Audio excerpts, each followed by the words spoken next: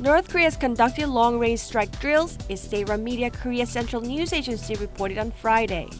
The drills came on Thursday as the communist state launched what were presumed to be two short-range missiles into the East Sea.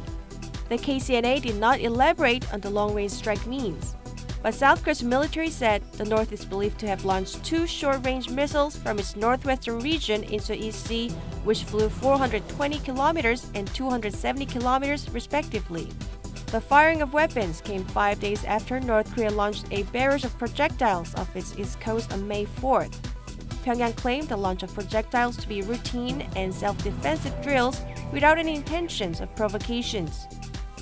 South Korea and the United States, however, has steered clear of outright condemnation in an apparent effort to keep the negotiating process with Pyongyang alive. Hours after the launch, South Korean President Moon Jae-in said in a TV interview the North missile launches could be a violation of United Nations Security Council resolutions if they are ballistic missiles. US President Donald Trump said that Washington is monitoring North Korea very seriously, adding that he doesn't think the regime is ready to negotiate.